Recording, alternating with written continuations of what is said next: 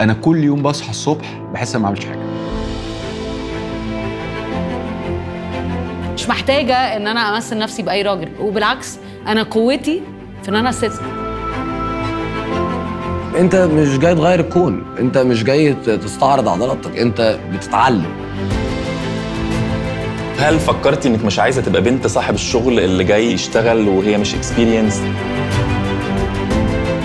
الفكرة الوحيدة اللي كانت في دماغي. دي أكبر مستشفى خارج القطاع الحكومي. كل ما تبسط نفسك أكتر كل ما سهل أسرع. إنك تكبر وتوصل أسرع.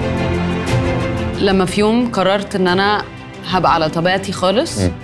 وكسبت أكتر بكتير قوي هل كان بي- بيراودك إحساس لا أنا عايش في جلباب أبي وأنا عايز أكبر بره؟